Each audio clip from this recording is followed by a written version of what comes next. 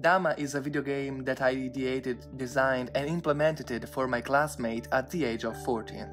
With Dama players can experience the fun and challenge of playing checkers in a digital environment. It's a great way to improve your skills and challenge your friends to a match.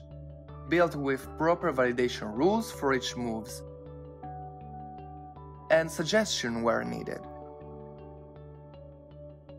A challenge in developing Dama was to find an alternative to the mouse for selecting checkers and their movement. The solution was to use a probability function that highlighted valid positions based on the move's orientation and context of the other checkers.